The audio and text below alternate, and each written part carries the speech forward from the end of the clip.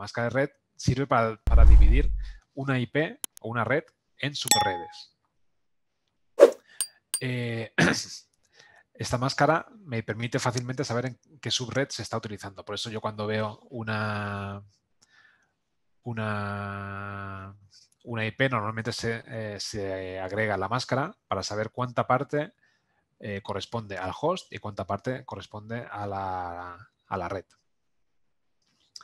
Y ya os he dicho, la notación normalmente es barra eh, el número de bits que, que forman parte de la, de la, dirección de red.